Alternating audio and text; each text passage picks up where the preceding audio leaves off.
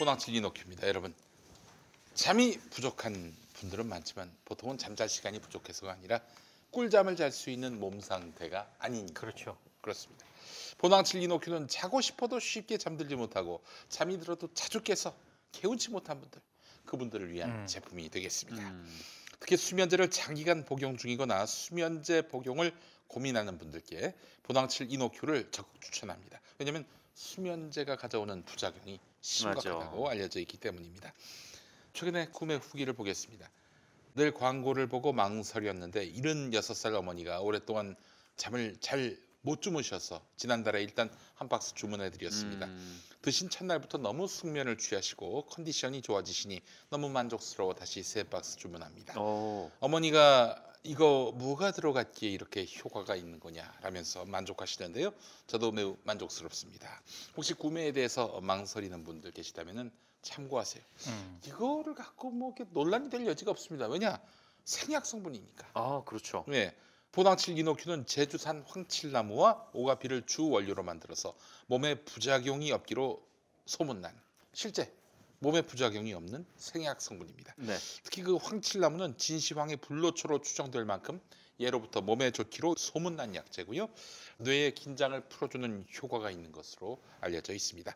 잠 때문에 고통받는 분들 딱 한 달 동안만 보낭칠 이노큐를 잠자리 들기 전에 따뜻한 물에 타서 드셔보시기 바랍니다. 수많은 구매 후기가 보낭칠 이노큐의 효과를 증언하고 있으니 꼭 확인해 보시기 바랍니다. 오직 김용민닷컴에서만 압도적 최저가로 판매하고 어. 있어요. 원래 정가가 8만 원인데 인터넷 최저가가 5만 9,900원. 음. 에 100원 깎아가지고 거의 6만 6만 원안 원이네. 되게 6만 하려나. 원. 네, 네. 그런 좀 꼼수가 느껴집니다만은 김용민닷컴은 5만 2천 원. 아, 5만 2천. 확실히 5만 원대. 아 그렇습니다. 네. 예, 5만 2천 원 여러분 보당칠 이노큐로 잠드시기 바랍니다. 네. 나를 잠들게 하라. 보당칠 이노큐의 CM송이었습니다. 아, 그런 심성이. 어, 그 조용필 씨의 노래 몰라요? 아, 나를 네네. 잠들게 하라. 창밖의 여자가 아마 그런 노래일 거예요. 네네. 음. 민중가인 줄 알았어요. 알겠습니다. 네. 나를 잠들게 하라. 보낭칠 이노큐였습니다. 자,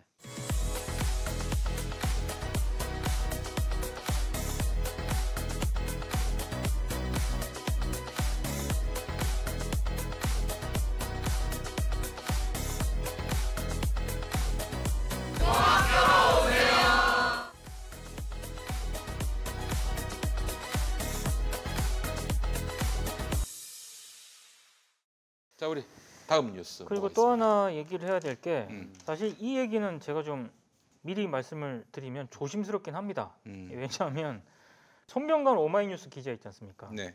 비극의 탄생이라는 책을 썼고 음, 쓴책 때문에 지금 오늘 오후에 음, 음. 오마이뉴스 인사위원회가 열렸다라고 하거든요. 네. 근데 제가 이제 얘기를 하려면은 이 비극의 탄생을 읽어봐야 되는데 음. 제가 지금 아직 이 책을 못 읽어봤어요. 못 읽어보셨어요? 예. 그래서 좀 그런 점을 일단 미리 말씀을 드리고 음, 뭐 인사위원회에서 아직 어떤 결정이 내려졌다는 그런 얘기 뉴스는 아직 안 나온 것 같은데 음. 이거는 좀 여러 가지를 좀 같이 한번 생각해 볼 대목이 있는 것 같아요. 음, 이를테면 만약에 정상근 기자가 음, 어떤 사안을 취재를 했어. 네. 음. 근데 내가 국장이야. 음. 이거 얘기 안 돼. 음. 킬 시켰어. 잠깐만요. 자, 이런 이런 말씀하세요. 문제점이 발생을 해가지고 결국에는 정상근 기자가 그 취재를 못 하게 됐어요. 음. 근데 본인이 판단했을 때는 아 이거 계속 봐야 돼. 이거 계속 파봐야 돼. 음. 라고 했는데 본인이 소속돼 있는 매체에서 이 기사가 나갈 확률은 적어요.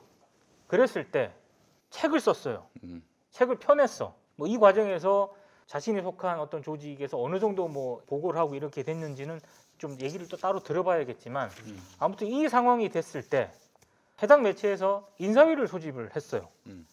야 이걸 어떻게 봐야 되나? 이거 여러 가지 좀 논쟁점과 고민거리를 던지는 건 맞는 것 같아요. 음. 저 같으면 인사위를 소집하진 않았을 것 같아. 음, 이건 가지고는. 손병관 기자랑 뭐 대화를 하든 간에 음, 대화를 하든 방식이 제일 좋았을 것 같고 두 번째는 음, 오마이뉴스의 어떤 뭐 공식적이든 그런 입장을 좀 내든가라고 음. 해서 공론을 하든가 음. 이런 방식을 택하지 않았을까 싶긴 해요. 인사위원회를 개최한다는 거는 모르겠어요. 이거는 약간 또 다른 논란을 불러올 수 있기 때문에 음. 저는 이 방식에 대해서는 동의하지 않습니다. 음. 예. 근데 어쨌든 대단히 죄송한 게 음. 제가 지금 책을 읽지 않고 여기까지만 얘기를 해가지고 네. 예. 그 이런 내용이에요. 작년 7월이죠. 박원순 네. 시장이 7월 10일인가 세상을 떠났고 그 주변에 비서실장이라든지 비서실에 있었던 사람들 가세연의 그 강용석이 강제추행 방조 고발을 했잖아요. 네. 경찰 조사를 받았는데 조사받은 사람들을 거의 대부분 만난 거야. 음. 손병관 기자가. 그런데 그런 걸 알지도 못했다. 낌새도 느끼지 못했다. 그리고 거꾸로 비서가 박 시장 비서실에 있는 거를 바라지 않고 딴 데로 가기를 바랐는데 그걸 들어주지 않았다. 음. 그래서 강제추행을 방조했다는 혐의로 이제 고발된 분들 그분들한테 접촉을 했는데 그런 적이 없다는 거야. 자기 뭐 본 적도 없고 그 낌새를 느끼지도 못했다는 거야. 그러면서 여러 근거들을 제시했어요. 그 고소인과 대화를 나눈 거라든지 그 내용이 이제 책에 나와 있는데 오마이뉴스 편집국장이 기사에 손을 대야 되겠다 이렇게 얘기를 했나 봐요. 음. 근데 사실관계와 관련해서 이거는 반드시 나가야 한다. 기사는 나가야 된다라고 했는데 편집국장이 몇 부분을 빼자 이랬던 거지. 음. 그러자 이제 손병관 기자가 만약 기사를 고친다면은 페이스북 등에 내 뜻과 상관없이 내용이 삭제됐다고 고지하겠다. 그랬더니 편집국장이 상당히 불쾌한데 지금 나 협박하는 거냐? 그랬더니 손병관 기자가 협박이라니 이런 일이 없게 하려고 이틀하고 12시간을 더 고민한 것 아닌가? 신중한 국장답지 않다. 뭐 이런 내용이 이제 이 책에 실렸어요. 음. 아그 커뮤니케이션 대화 과정이 다 언급이 됐. 됐구만. 네네. 음, 그러니까 이제 뭐 사실은 그것 때문에 인사위원회 열린 것 같은데 음, 음. 아니 이런 게 실리면 왜 안 됩니까? 이것도 일종의 기록인데 허위 사실을 썼다면 뭐 당연히 이거는 손병관 기자가 책임을 져야 될 일이지만은 사실을 적었는데 뭐가 문제예요? 그러면 그 과정에 대해서 송 기자에게 편집국장으로서 뭐송 기자가 또 한 20년 된 기자입니다. 고참 기자예요. 편집국장을 해도 될 뿐이라고요. 그런 분의 취재 결과에 대해서 이렇게 그런 식으로 그냥 제 신참이 가져온 기사를 빨간 줄 긋듯이 그러면 됩니까 그게? 그뿐만이 아닙니다. 여기 저 보면은 한겨레에 대해서도 언급이 나온 게 있어요. 뒷부분 가가지고 한겨레 기사에 대해서 비판한 부분이 있었는데 아니 그래서 기본적으로 일단 편집국장은 본인 입장에서 데스킹권을 행사를 한 음. 거겠죠. 음. 그리고 손병관 기자 입장에서는 자기 취재한 거가 확실하기 때문에 음, 자기 입장을 분명히 개진했을 거고 그 접점을 못 찾은 건데 음. 자 저랬을 때 보통 저런 문제가 발생하면 지금까지 나오는 양상은 페이스북이라든가 이런 음. 걸 통해서 막 문제 제기를 하는 방식이 일반적이었잖아요 지금까지 음. 근데 이제 손병관 기자는 그 뒤에 오랫동안 더 취재를 했던 것 같아요 그래서 음. 기사를 썼고 음. 근데 저는 이 정도 했으면 오마이뉴스에 보고를 하지 않았을까 싶은데 다 보고를 했지. 네, 다 보고를. 하고 근데 그게 사실은 이 취재물을 오마이뉴스 자기가 속하는 언론사에다가 올리려고 했는데 내부에서 젊은 기자들이 그 이른바 후배 권력들이 못 나가게 한 거야 한마디로 얘기해서 노조의 이름으로. 그랬을 때 손 기자는 이걸 선택을 했단 말이죠. 또 이렇게 선택을 했는데 인사위원회를 개최한다. 음. 단순히 사실관계가 만약에 현격하게 다른 부분이 있다면 그 언급된 음, 커뮤니케이션을 공개하는 그 부분에 있어서 왜곡되거나 음, 그랬다면은 뭐 모르겠지만 단순히 저 부분을 언급을 했다는 이유만으로 만약에 인사위를 회부했다. 음, 정확하게 인사위를 왜 회부했는지를 저는 모르겠어. 음, 이 책을 내서 인사위를 회부한 건지 음. 아니면 아, 이 이- 책에서 언급된 내부 의사소통을 네. 공개를 그- 해서 그거를 공개를 해서 그걸 공개를 했기 네, 때문에 인사에 음. 올라온 걸 알고 있어요. 그 한겨레와 관련해서 이제 책에 한겨레 중견 간부의 말을 인용한 부분이 있어요. 한겨레 중견 간부가 한 말입니다. 어느 순간부터인가 회사의 데스킹이 무너져 버렸다. 형사 사건의 대원칙은 의심스러울 때는 피고의 이익으로 돌려라. 범인 100명을 놓치더라도 피해자 한 명의 인권을 놓치면 안 된다는 말도 같은 맥락이다. 그런데 박원순 사건에서는 피해자 중심주의, 2차 가해 담론이 저널리즘의 기본 원칙을 다 무너뜨렸다.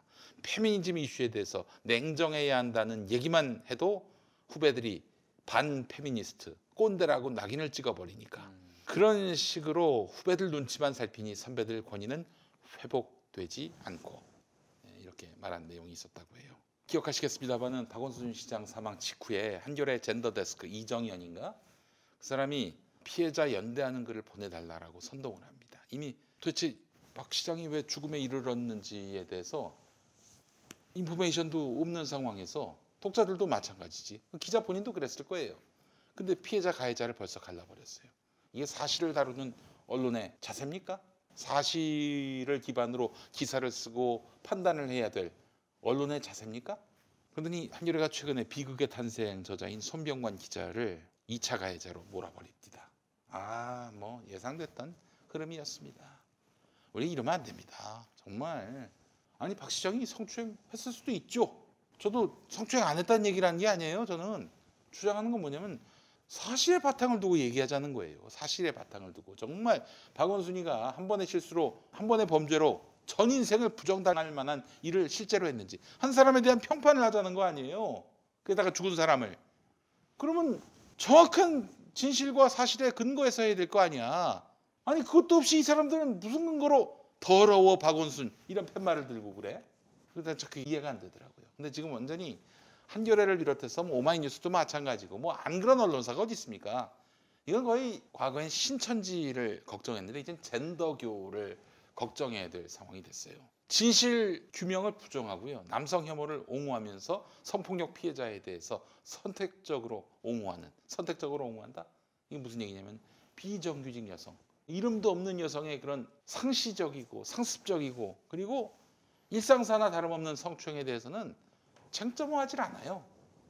오로지 자기들의 어떤 권력을 증대하는 목적으로 이렇게 성 문제를 다루고 있다라는 의심을 지울 길이 없습니다. 제 말이 틀렸나요? 뭐 하여간 그렇습니다. 이 사건을 좀 생각했던 게 저도 이제 손병관 선배 책을 읽어보진 않았지만 뭐 페이스북에 손병관 선배가 이제 글을 쓴거 보면은 동의할 수 있는 부분도 있고 동의할 수 없는 부분도 사실 좀 있었어요. 어쨌든 이 성폭력, 성희롱 이런 사건들은 대체로 근거가 없는 경우가 대부분이기 그렇죠. 때문에 음. 어떤 이제 명확한 근거를 제시를 해야 된다라는 게 사실 좀 받아들이지 못할 때도 있고 좀 그렇거든요. 근데 다만 오마이뉴스에서 이제 징계위에 올라갔다는 얘기를 들으면서 좀 생각을 했던 거는 어떤 일이 있을 때 뭐 이것이 자신의 어떤 주장을 딱 내세웠을 때 음. 이것이 굉장히 좀 2차 가해라던가 뭐 이제 좀 쓰레기 같은 행위다 이렇게 얘기를 하는 것도 뭐 과거 이제 뭐 여성들의 성폭력 사례를 쭉 봤을 때 어느 정도 이해를 아예 못할 측면은 없다라고 생각을 합니다만은 뭐 음. 그래도 불구하고 좀 언론사가 이런 이슈를 대응했을 때 공론회장이 좀 차분하게 얘기가 됐으면 좋겠어요. 그러니까 음. 여기든 저기든 너무 또 다 마찬가지인데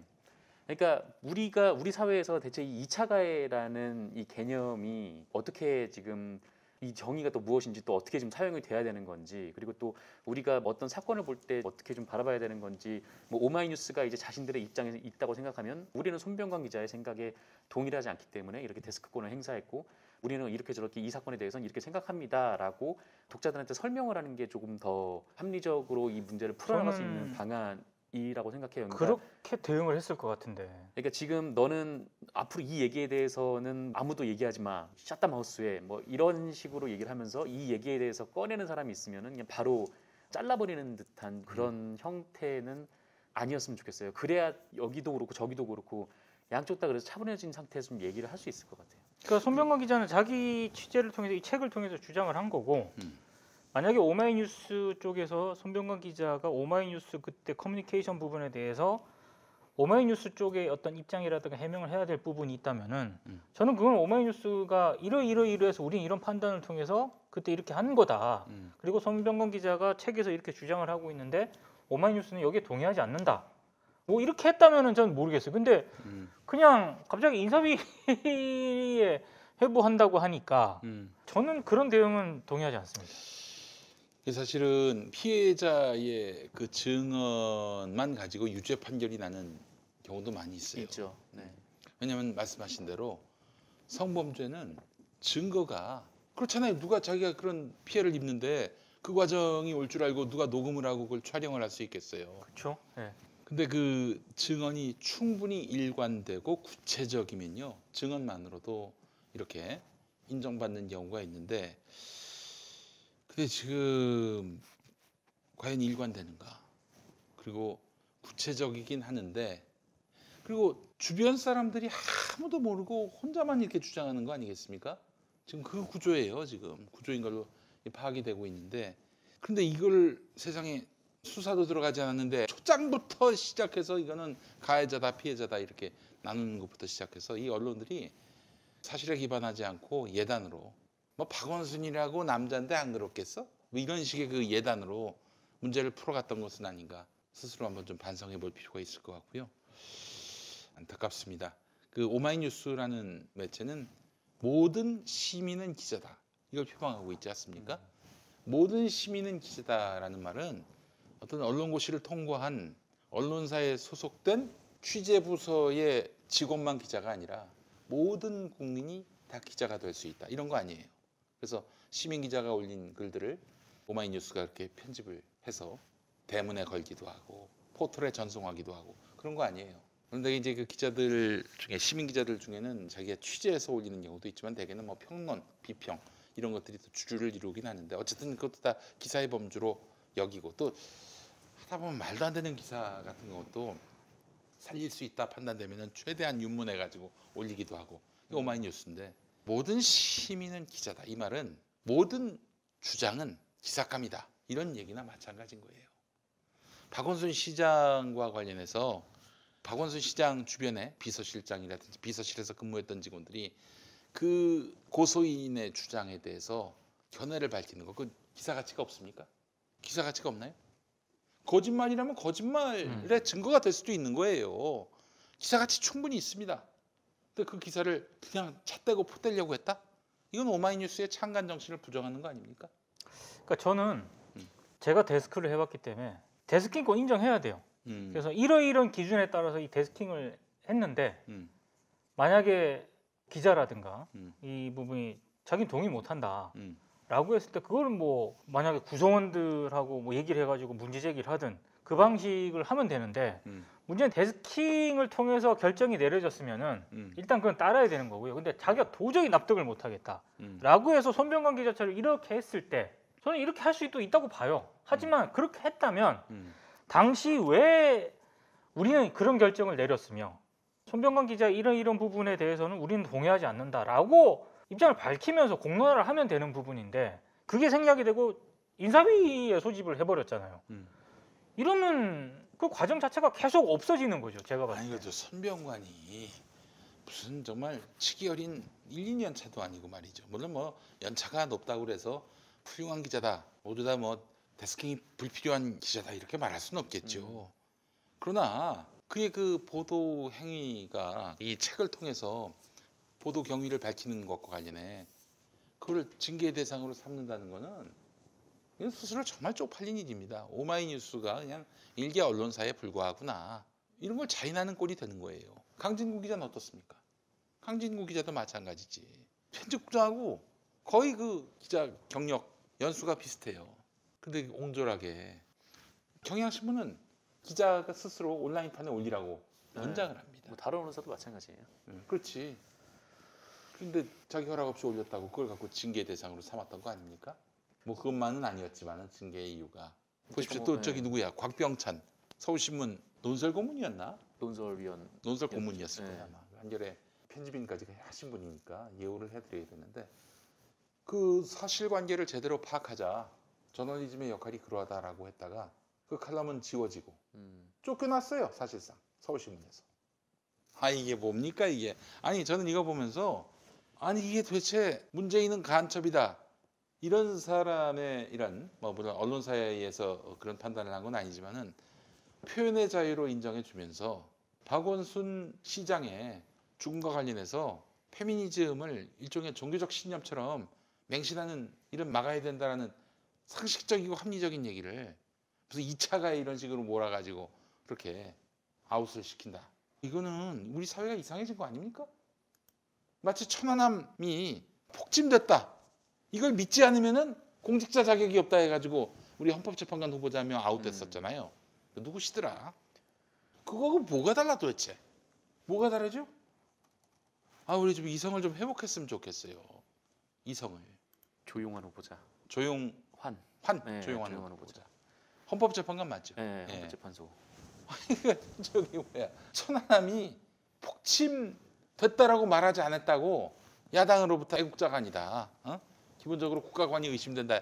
그래서 애국자가 아닌 정도가 아니라 국가관이 의심된다. 이런 얘기를 듣고 잘렸어요. 아니 천안함 침몰의 원인이 이게 무슨 종교입니까? 뭐 아니라고 의심할 수도 있죠. 아니라고 의심할 수도 있는 거 아니에요? 합리적인 의심을 할 수도 있는 거 아닙니까? 그러면은 그런 의심을 가지면 공직자 들 자격이 없나요? 아니 그거 못 믿는 과학자들도 많습니다. 그 과학자들 보고 야 왜 못 믿어? 너 믿어? 믿으란 말이야. 안 믿으면 넌 감옥 갈 수 있어. 이게 그럼 갈릴레오 갈릴레이와 뭐가 달라? 적절한 예가 됐는지 모르겠습니다. 예, 예. 죄송합니다. 예. 아니 근데- 기본적으로 저는 제가 데스크를 할 때는 뭐 외부 원고 음, 다 데스킹 받고요. 다 봐야지. 다 받고 심지어 사장이 창간 기념부 때 창간사 쓰거든요. 네. 그것도 아. 가서 예. 좀 표현이 과하거나 이런 거는 음. 얘기를 하고 예, 그거 인정을 해야 돼요. 인정을 하는데 중요한 거는 다른 이견을 이런 방식으로 제시를 했을 때 음. 우리는 그때 이랬다라고 입장을 내면 돼. 그렇지. 그거는 독자들이 판단하는 거예요. 지금 우리 저 누구야 손병관 기자도 그 인정해가지고 기사를 못 낸 거 아닙니까? 자기 그 소회를 여기다 담았는데 이거에 대한 편집권이 오마이뉴스 편집국장에게 있는 건 아니잖아요. 그 책은 그렇죠. 근데 이걸 근데 뭐 허위 사실이면 모를까? 아, 양식 있는 언론인이라면은 그렇게 자신의 그 어떤 행위로 인해서 후배나 동료가 비판하면은 그 비판한 걸 받아야지. 그걸 권력으로서 누르겠다는 거 아닙니까? 그런 오만한 발상을 하게 되는 이유는 설령 손병관이를 이렇게 징계를 때려도 사내에서 반발할 사람 아무도 없다. 손병관이 말고 에이, 이런 그 얄팍한 수 때문에 그런 건 아닐까요? 근데 어쨌든 머리 갈 것도 없죠. 그 학폭 미투 의혹이 터지기 시작했을 때 여러 언론사에서 일방적인 주장만 놓고 판단할 수가 없다라는 내용의 사설을 쓴 글을 제가 꽤 봤거든요. 어쨌든 뭐 누군가의 주장이 있는 거고 뭐 거기에 대해 맞서는 있는 건데 근데 사실 저도 이제 손병헌 선배가 썼던 뭐 글들에 대해서 동의할 수 없는 부분이 상당히 많긴 하지만 근데 그렇다면은 뭐랄까요? 하여튼 뭐그 주장에 대한 이제 반론을 제기를 하는 차원에서 반론을 이제 좀 적극적으로 좀 개진을 하고 또 여기에 대해서 좀 얘기를 하는 게 필요하지. 특히나 여기서 이제 그 편집국장과의 대화 내용을 썼다라고 징계를 하는 방식은 저는 좋진 않다라고 생각이 들어요. 음. 근데 실제로 오마이뉴스가 이거 징계를 하려고 하는 거예요? 그건 징계를 이제 하려고 뭐 그러니까 얘기를 그런 거지. 해보겠다라는 거고 아직 뭐 결정이 난 건 아니에요. 뭐 해고까지 나갈까? 아이 그건 못하죠. 그러니까 저는 그 기사만 봤을 때는 일단 뭐 경위서를 제출하라고 일단 얘기를 했다 그러더라고. 음. 근데 설마 이걸 가지고 징계를 하지는 이거 징계하면 좀 뭐 저기 하더라도 뭐 견책이나 뭐 네. 경고 이런 정도 음. 수위라고 저는 생각을 합니다만은 손병관이 보통 사람이 아니에요.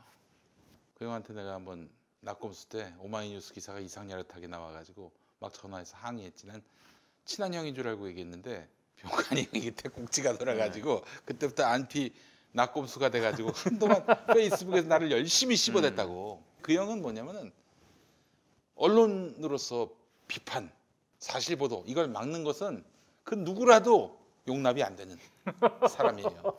정말 대단한 분입니다. 그분은 이런 어떤 자기 스스로 언론인으로서의 책임감도 굉장히 크게 느끼고 있고 또 그의 보도에서는 흠결을 찾을 수가 없어요.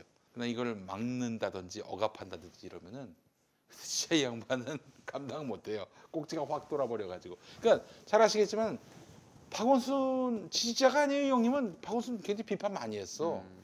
그런데도 불구하고 박원순의 죽음 이후로 모든 언론이 사실은 덮어두고 피해자 중심주의라는 어떤 그런 실체 없는 주의 주장에 완전히 경도돼 가지고 사실 확인이라든지 사실 파악에 대한 노력들을 게을리하니까 이 양반은 나는 그럼 한번 그걸 파보겠다라고 팠던 건데 보도가 안 되고 또 그런 보도를 하려다가 사내에서 틀림없이 왕따를 당했을 겁니다. 제 추정인데 강진구가 왕따 당했듯이 어, 병을 얻었어 그 형이 굉장히 큰 병이더만 보니까 난 몰랐어요. 나중에 보도를 보고 알았는데 아 이렇게 병관이 형하고 다시 연대하게 될 줄은 몰랐어.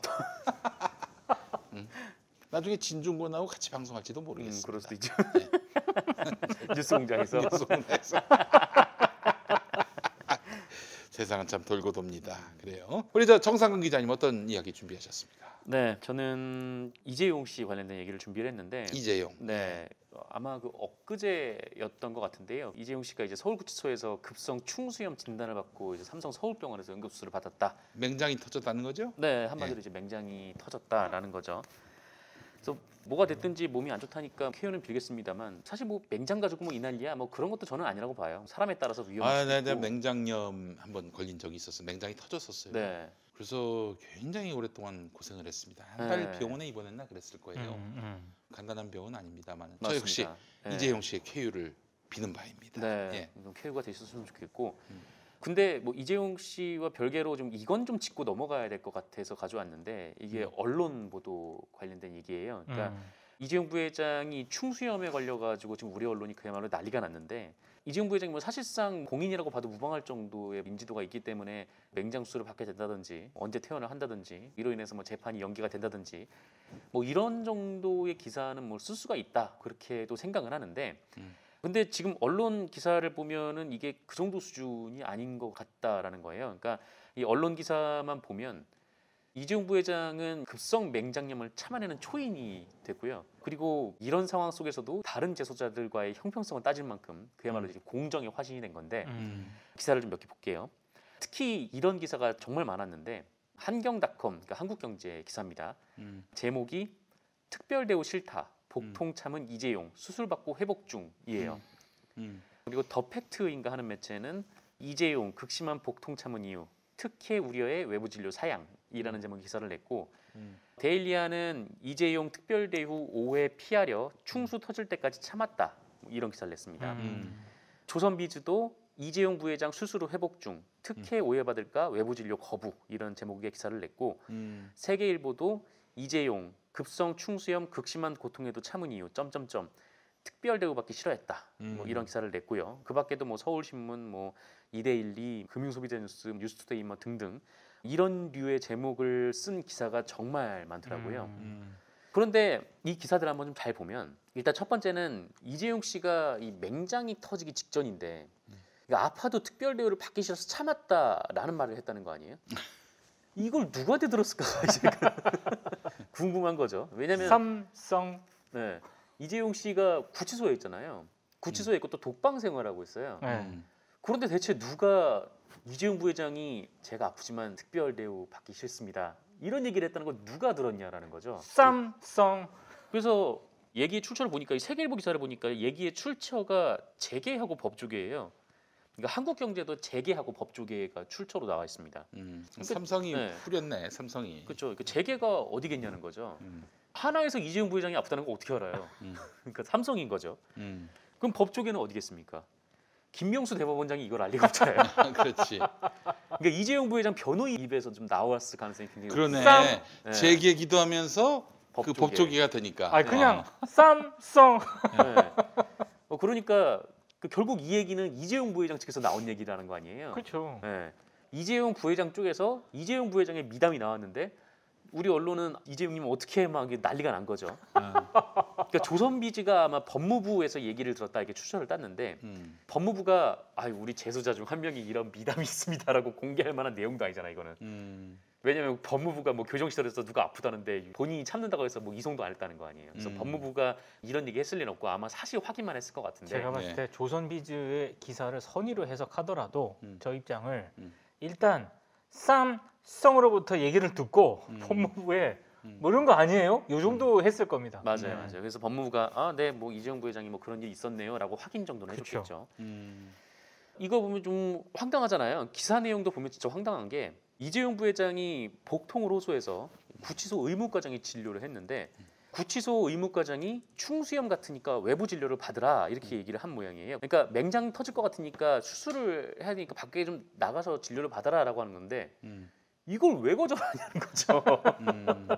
의사가 그렇게 얘기를 하는데, 그러니까 이거 자체 웃기잖아요. 누구든 맹장 터지면 밖에서 수술을 받는데 음. 이게 뭐 특별 대우라고 이걸 거절을 해요. 음.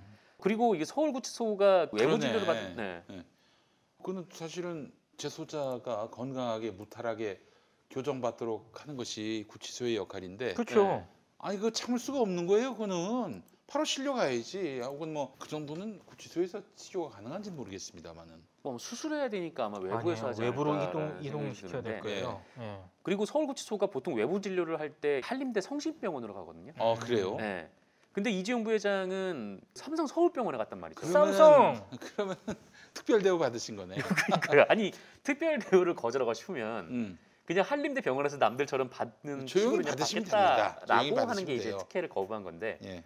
아니 맹장 터질 것 같으니까 나가라고 할 때는 안 가놓고 그다음에 다른 재수자들처럼 성심병원에 데려다 놓으니까 물론 이제 성심병원의 의사가 이제 다른 병원으로 옮길 것을 권하긴 했습니다만 음. 어쨌든 뭐 결론적으로 그렇게 된 거예요. 그러니까 특혜라고 할 만한 것도 아닌데 이거를 이제 특혜라기 때문에 참았다라는 보도를 삼성의 입에로부터 지금 나와서 언론이 지금 받아 쓰면서 난리가 났다라는 거죠. 음. 삼성 서울병원에서 6인실에 입원했을까, 2인실에 입원했을까, VIP실에 입원했을까. 당연히 뭐 VIP실로 갔겠죠.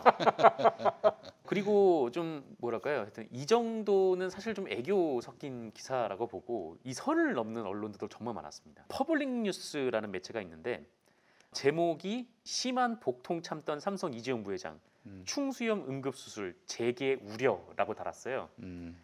그러니까 제목만 보고 저는 이재용 부회장이 단식하다가 쓰러진 줄 알았거든요. 음. 재개가 우려를 한다길래 음. 아니 그 충수염에 걸려서 이제 수술을 받게 되셨는데 재개에서 왜 우려를 해요 이거를? 음. 그러니까 기사를 보니까 기사도 이 건 때문에 재개에서 우려를 한다는 게 아니라 이재용 씨가 구속됐을 때 경제단체에서 성명 냈던 거 있잖아요. 음. 그냥 그거를 그냥 갖다 쓴 거예요. 그러니까 갖다가 뭐 재탕을 하는 거죠. 이 삼성한테 잘 보이려고 음. 이런 무리수 기사까지 낸 거고. 그리고 문화일보가 삼성 사법 리스크 장기화 시름 속 이재용 응급수술까지 엎친 데 덮쳐라는 기사를 냈습니다. 음. 그러니까 이재용 부회장이 아파서 재판 연기될 가능성이 높다라는 건데 이재용 부회장이 아파서 재판이 연기가 되는 건데 이게 무슨 사법 리스크예요? 음. 말이 안 되잖아요.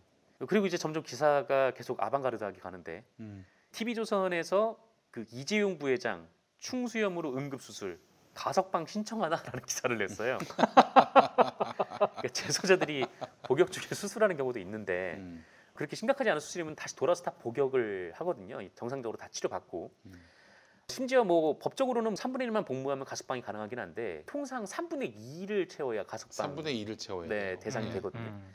만약에 가석방이 되면 그게 특혜예요. 음. 그렇죠. 네, 근데 특혜를 받기 싫어서 지금 병원도 안 갔다는 사람을 음. 음. 가석방을 해서 이제 특혜를 하자라는 게 이제 TV조선 얘기인 건데 음. 좀 말이 안 되는 거죠. 그리고 이 파이낸셜 뉴스가 있는데요. 이 제목이 맹장 건은 아닌데 전혀 다른 얘기를 들고 와서 음. 맹장 긴급 수술 받은 이재용 왜 지난해에는 연봉 한 푼도 안 받았나라는 제목의 기사를 냈어요. 음. 그러니까 2017년부터 이재용 부회장이 이제 무보수 경영을 하고 있다라는 보도인데 차라리 이재용 부회장이 급여를 받는 게 좋죠. 받아야죠. 네, 급여 안 받고 회사 돈을 자기 돈처럼 쓰다가 예. 음. 지금 당연히 자기가 받아야지. 네, 감옥에 간 거 아닙니까? 그 연봉이 적절한지도 자체적으로 기준에 따라서 네. 받아야 되는 거고. 음. 그러니까 배임 횡령을 하지 않는 게더 그렇죠. 올바른 방식이잖아요. 음. 네. 그리고 이 기사가 저는 이번 보도 관련해선 MVP라고 꼽았는데 이재용을 떠받들다 못해서 이제 신으로 만들기 위해서 골로 보내버린 기사가 하나 있어요. 아 뭐예요? 이코노미통 뉴스라는 곳이 있는데 음. 여기에 이제 배병유라는 회장님이 직접 기사를 아 썼어요. 배병유 매일경제 출신이에요. 네, 그 배병유라는 주필인가. 했어 거기서. 네, 맞습니다. 네. 제목이 뭐냐면 이재용 구치소서 충수염이 점점점 재벌 오너 유고 잦은 나라. 음. 아니 이재용 씨 안 죽었는데 음. 유고 유고까지. 유고까지. 유고를 걱정하셨구만. 네. 그래서 이 아저씨가 뭐 별의별 소리 다 늘어놓는데 음. 삼성 부- 이재용 부회장이 불법 승계를 할 필요가 없는 사람이다. 왜냐하면은 자연스럽게 상속을 받을 수 있는 사람이기 때문에 불법 승계를 할 필요가 없다라는 건데 음. 세금 안 내려고 이랬던 거잖아요. 그렇죠. 예. 어쨌든 뭐 그런 이제 말도 안 되는 얘기가 막 있었는데 또 이 아저씨가 이래저래 이제 재벌 총수가 구치소에 갇힌 채 충수염이 터지는 가혹한 순환 시대는 문재인 정권 임기 말까지 가리라는 비관적 전망이다라고 얘기를 했는데 음. 이재용 씨 충수가 문재인 정권에 맞춰서 터진 건 아니잖아요. 음. 음. 뭐 살다 보니까 터진 거지. 음. 그러니까 좀 이런 기사들이 지금 포털에 실리고 뭐 심지어 뭐 이재용이 참았다 이런 뉴스도 이제 포털에서 메인 화면 중 하나로 이제 편집이 되기도 했는데 물론 이제 앞서 말씀드렸듯이 뭐 이재용 씨가 쾌유를 하기 빌고 또 아픈 사람을 조롱하고 싶진 않지만 뭐 이걸 음. 다루는 언론은 좀 조롱을 당해야 되지 않나 그렇죠. 그런 생각이 들어서 음. 뉴스를 좀 가져왔습니다. 음. 전형적인 TK 출신이고 배병휴. 네. 매일 경제에 오랫동안 있다가 경제 풍월이라고 아주 극우적인 어떤 자본가 대변 논조에 월간지를 또 내기도 했고 요즘도 그렇게 인터넷 언론을 또 오픈하신 모양이네. 네. 예. 아유 좋겠어요. 좋겠다기보다는 아마 내가 이재용이라면은 누군가 자기를 빨아준 기사 쓰면 아, 저 새끼한테 또 광고비를 줘야 되나? 아유 삼성 재산 축 나겠네. 음, 이럴 것 같아요 느낌에. 그러게요. 예. 뭐 쓰려면 좀 그럴싸하게 좀 잘 쓰던가. 음. 어디서 뭐 듣고만 온 얘기를 가지고 그래서- 말도 안 되는 기사를 쓰니까. 자기가 또 구속될 위기에 놓이면 또 열심히 또 옹호해 준단 말이야. 아, 저 새끼들한테 또 광고비를 줘야 되나? 막 이런 고민을 할 거고. 음. 아, 우리 이재용을 너무 저 피곤하게 하지 말고 네. 그냥 제값에 형량을 다 치르고 나올 수 있게 해줘야 하지 않을까. 네, 무탈이 그냥 나오시길 기도하는 게 제일 에, 뭐 좋죠. 그렇죠. 아유, 음. 저기 이재용 씨가 앞날이 창창한 양반인데 음. 또 그렇게 인생에 좋은 경험 아니겠습니까? 근데 그런 느낌 안 드세요? 이재용이 감옥 들어가니까 아, 이 온라인에서 활동하는 알바들이 많이 없어진 것 같은 느낌이 들어요. 그 느낌은 이재용 씨가 감옥 들어가서 구속됐던 2017년 초반부터 시작해서 거의 한 1년 있었을 거예요. 1년 동안에도 잘 보이지 않았어요, 알바들이. 음. 어떻게 이재용 씨가 감옥 들어갔는데 알바들이 안 보일까? 안타깝네. 네. 일자리가 많이 줄어들어서 안타까워요. 예. 그래요. 물론 이제 이재용 씨가 뭐 알바를 조장했다 혹은 뭐 배우다 이렇게 말할 근건 저에게 전혀 없습니다. 음. 예. 그러나 이상하게 그런 느낌이 들어서 말이죠. 또 이제 최근에 그 프로포폴 건 때문에도 이제 휘말렸더만. 그거 이- 예전에 걸렸던 건데 아니 음. 마약 사건으로 수사심의위원회가 열린 적이 있었나요? 처음 보는 광경인데 그것도. 음, 그렇죠. 모르겠습니다. 네. 예. 하여간 여러분 죄송합니다. 오늘 너무 절망의 언어를 얘기해서 제가 참고 살기로 했는데 세월호 가족 얘기를 들으니까 음. 아 이건 아니다 정말 뭐 하나 생각도 들고요. 그리고 무엇보다도 이 정부가 성공한 정부로서 역사의 길이 남기 위해서는 세월호 문제는 깔끔하게 해결해야 됩니다. 음. 검찰의 그 임관혁의 엉터리 수사, 황교안은 불러서 조사도 안 한 음. 그 아주 허술하기 짝이 없는 수사 그 얘기도 해주셨어요. 음. 처음에 임관혁이 수사팀이 꾸려지고 네. 세월호 가족들을 만났어요. 만났더니 뭐라고 하는 줄 아십니까? 임관혁이 이 수사의 책임자는 내가 아니다. 윤석열 총장님이시다. 음.